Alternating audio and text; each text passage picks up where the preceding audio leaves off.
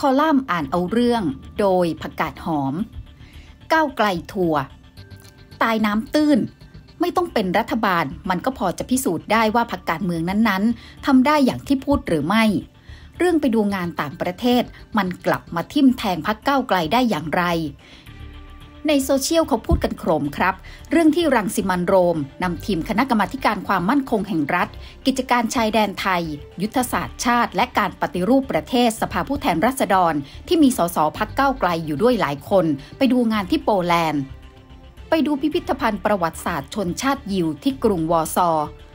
ไปดูแนวทางการรับรองผู้ลี้ภัยของสงครามยูเครนรัสเซีย เพื่อเตรียมความพร้อมในการจัดการกับผู้ลี้ภัยอย่างมีประสิทธิภาพและเปี่ยมด้วยมนุษยธรรม หารือแลกเปลี่ยนประเด็นความท้าทายในการบริหารความมั่นคง ทั้งที่ชายแดน และการเตรียมพร้อมต่อภัยสงครามที่อาจเกิดขึ้นในอนาคตไปชายแดนโปแลนด์ยูเครน ดูการเตรียมรับมือกับภัยสงครามจากรัสเซีย นี่คืองานที่ไปดูซึ่งต้องใช้เงินงบประมาณจากภาษีประชาชน คนไทยนับ 10 ล้านบาทคำถามคือจำเป็นและคุ้มค่าหรือไม่ แถมสิ่งที่รังสิมันโรม แจกแจงในการไปดูงาน มีเจตนาชัดเจน ยืนอยู่ฝั่งตรงข้ามกับรัสเซีย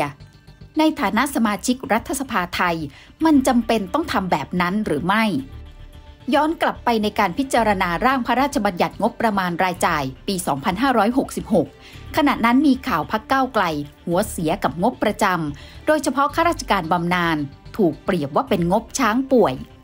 พิธาลิ้มเจริญรัตเดือดครับ ยืนยันว่าไม่เคยพูดและชี้แจงผ่านโซเชียล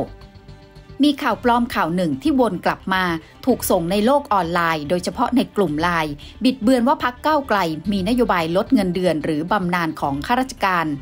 ผมขอยืนยันอีกครั้งว่าเราไม่มีและไม่เคยมีนโยบายลดเงินเดือน หรือบำนาญของข้าราชการ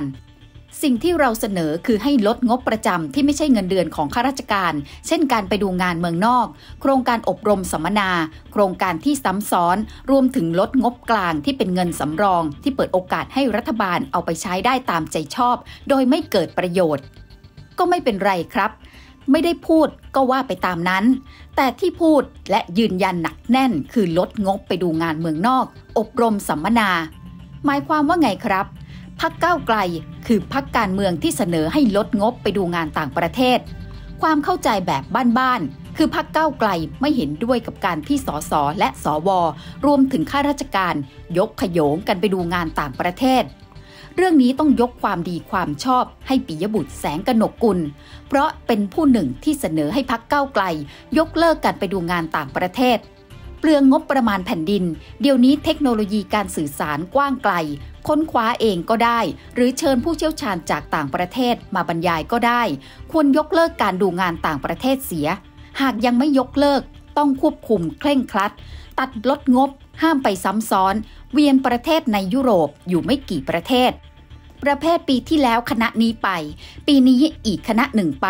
หรือเลือกประเทศที่สสอยากไปเที่ยว มากกว่าคิดเรื่องภารกิจ และเมื่อไปแล้วต้องทำรายงานการค้นคว้าด้วย อยากเห็นสสก้าวไกลทำเป็นตัวอย่างครับถ้าสสก้าวไกลทั้งพักประกาศไม่ไปดูงานต่างประเทศ และรณรงค์ให้ยกเลิกงบส่วนนี้จะดียิ่ง และยังช่วยกดดันไปยังสสพักอื่นด้วย ยังมีโพสต์ในกรรมเดียวกันแต่ต่างวาระ ไม่มีความจำเป็น กรรมธิการสามารถหาความรู้ด้วยการเชิญผู้เชี่ยวชาญจากต่างประเทศ หรือใช้ประโยชน์จากเทคโนโลยีการสื่อสารในการหาข้อมูลจากต่างประเทศก็ได้ ซึ่งวิธีนี้จะช่วยประหยัดงบประมาณได้มากกว่า ถึงเวลาที่ควรทบทวนเรื่องเหล่านี้อย่างจริงจัง ต้องไม่ทำให้การดูงานต่างประเทศ กลายเป็นเรื่องคุ้นชิน จนเป็นสิทธิพิเศษของบรรดาท่านสสสว ที่แต่ละปีจะได้ไปเที่ยวฟรี พักฟรี จุดยืนชัดเจนนะครับ แต่สสพักก้าวไกลไม่เอาด้วยสสก้าวไกลในคณะของรังสิมันโรม บอกว่าไปดูงาน แต่ไม่พลาดถ่ายรูปโชว์ในโซเชียลราวกับไปทัวร์ยุโรป นี่คือตัวอย่างเล็กๆ ที่สะท้อนให้เห็นว่า เวลาพูดมันง่าย มีปากพูดอะไรก็ได้ แต่ปฏิบัติจริงกลับกลายเป็นคนละเรื่อง ที่ไปกลด่าสวกกตอบต อบจพัดลม ตู้เย็น ไมโครเวฟไปดูงานต่างประเทศก็มันปากครับ แต่ถึงเวลาตัวเองอ้างว่าไปดูงานจริงลองดูงานที่คณะของรังสิมันโรมไปดูสิครับ คุ้มค่ากับงบประมาณที่เสียไปหรือไม่ การจัดการผู้ลี้ภัยของไทยไม่น้อยหน้าประเทศใดในโลกครับ เขาทำกันก่อนรังสิมันโรมจะลืมตาดูโลกอีก รังสิมันโรมเกิดปี 2535 นี่เองครับเขมรแตกปี 2518 ชาวกัมพูชาอพยพหนีภัยสงครามเข้าไทยนับแสนคน รัฐบาลพลเอกเกรียงศักดิ์ชมนันต้องแบกรับค่าใช้จ่ายนับ 10 ล้านบาทต่อปี ปี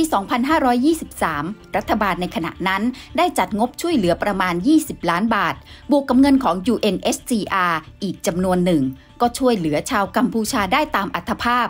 ไม่นับรวมที่ไทยต้องเผชิญกับกองกำลังเขมรแดงที่ลักลอบข้ามแดนมาเผาค่ายผู้อพยพอีก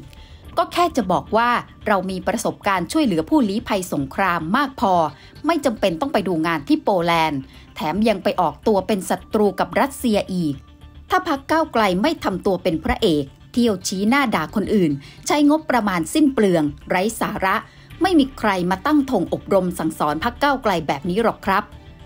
แต่เมื่อว่าแต่เขาอีเหนาเป็นเสียเอง มันก็ต้องยอมรับผลที่ตามมา ที่ประชุมสภาผู้แทนราษฎรวานนี้ พิธาหารือในที่ประชุม ยกเอา MOU การร่วมเสนอชื่อบุคคล เพื่อดำรงตำแหน่งประธานสภา และรองประธานสภาสองคน จนทั้งสองคน คืออาจารย์วันนอกับรองอ๋องหมูกระทะ ปฏิพัฒน์สันติพาดามาเป็นประเด็น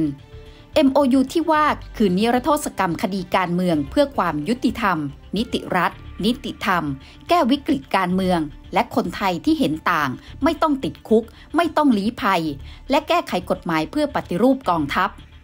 ดีลนี้พักเก้าไกลทำกับฝั่ง 8 พักที่จะตั้งรัฐบาลด้วยกัน มุมหนึ่งการหยิบยกดีลนี้มาเป็นเรื่องน่าขบขัน เพราะดีลเลือกประธานและรองประธานสภาผ่านก็จริง แต่ดีลตั้งรัฐบาลหลังจากนั้น ล่ม ที่ล่มเพราะก้าวไกลไม่ทันเกมเพื่อไทย พูดง่าย ๆ คือถูกหลอก จนประธานสภาไม่ได้เป็นคนของพรรคก้าวไกล การมาทวง MOU ในวันนี้จึงเหมือนโง่ซ้ำซากพรรคก้าวไกลเป็นฝ่ายค้านยังไม่ทันเกม ถ้าเป็นรัฐบาลประเทศไทยจะอยู่ในสภาพไหน